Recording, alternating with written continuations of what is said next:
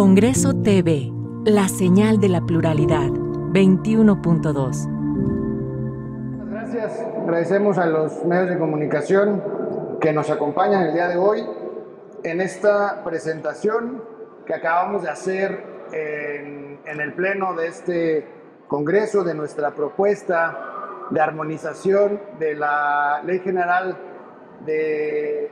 Movilidad y Seguridad Vial que se aprobó hace unos meses en el Congreso de la Unión y que obliga a las entidades federativas a eh, hacer las modificaciones necesarias para adecuarla a los lineamientos que establece esta ley. Queremos resaltar que esta propuesta que presentamos es fruto de varios meses de trabajo que iniciamos desde el Parlamento Abierto que celebramos en este Congreso con diversas organizaciones que nos da eh, mucho gusto que hayan participado en el esfuerzo de eh, compartir los conocimientos, la experiencia,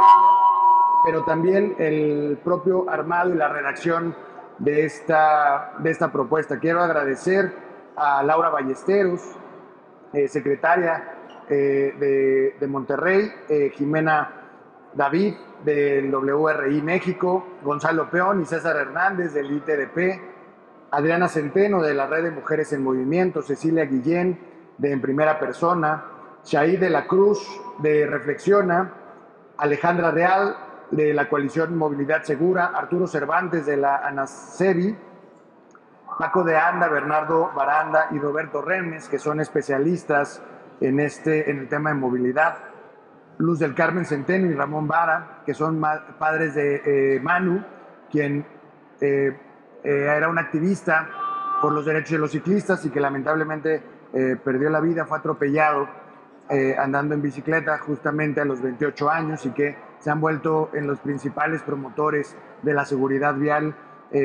continuando con la causa de Manu. También contamos con la participación de otras organizaciones y grupos de la sociedad civil como la coalición de las personas sordas, el poder del consumidor, nuestra realidad AC,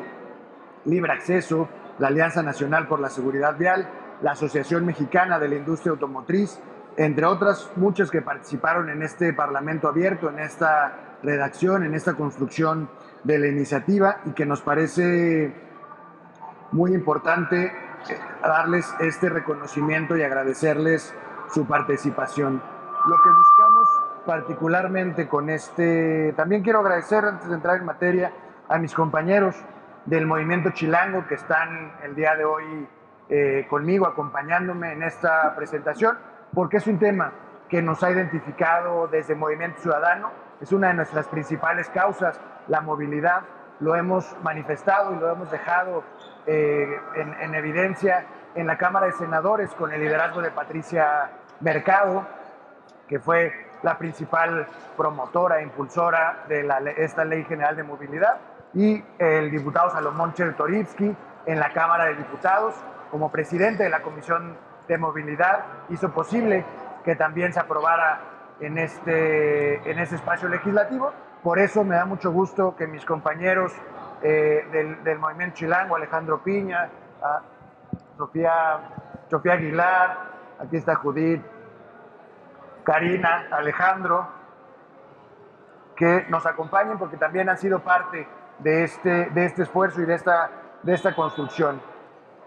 ¿Qué buscamos? Eh, ¿Cuáles son los objetivos principales de esta ley?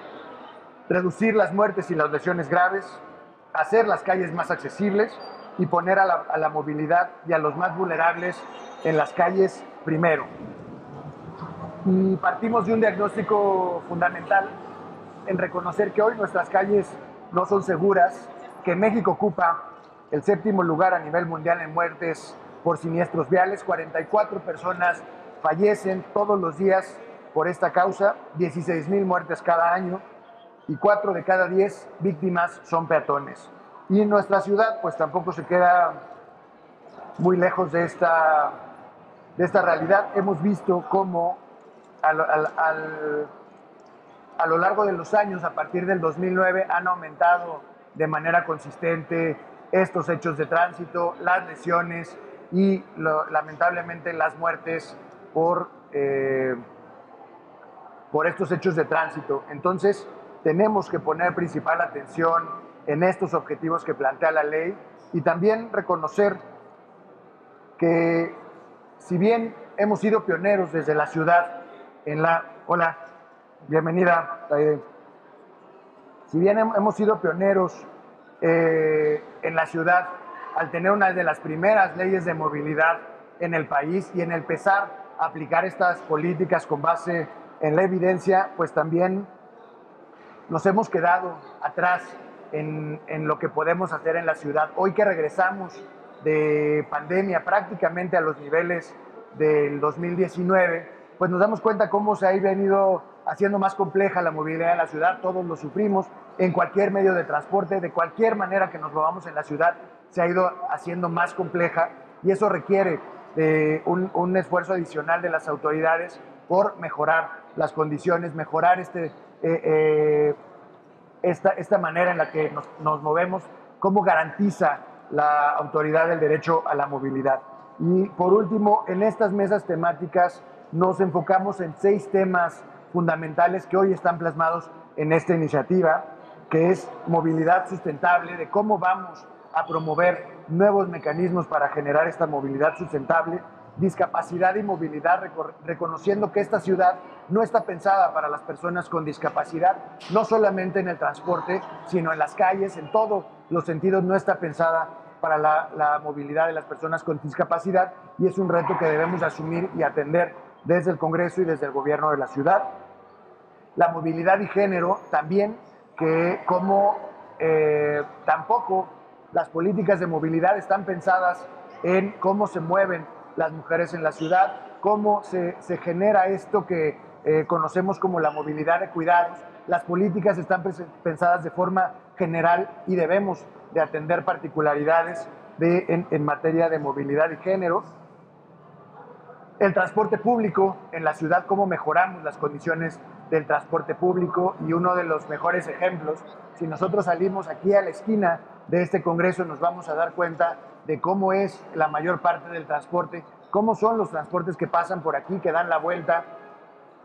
Eso es la, forma en la que se transporta la gran mayoría de la gente de esta ciudad y a que tenemos que poner principal atención.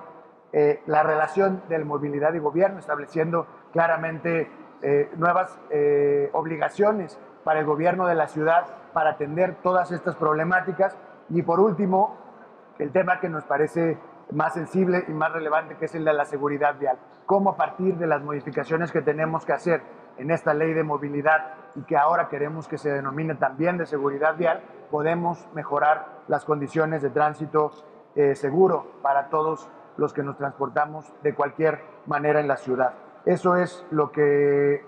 contiene nuestra propuesta, es el fruto de un trabajo colectivo de varios meses de organizaciones, del trabajo de mis compañeros del Movimiento Chilango, el Movimiento Ciudadano, y por supuesto que a partir de hoy estará abierto a los comentarios de la ciudadanía en el portal del Congreso de la Ciudad. Y esperamos que en estos 10 días contar con una buena retroalimentación de la ciudadanía en general y también de las organizaciones para que podamos enriquecer este proyecto.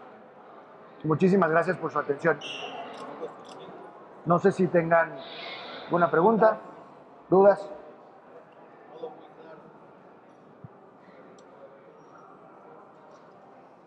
¿Todo bien? Muchas gracias. Muchas gracias por acompañarnos. Congreso TV presentó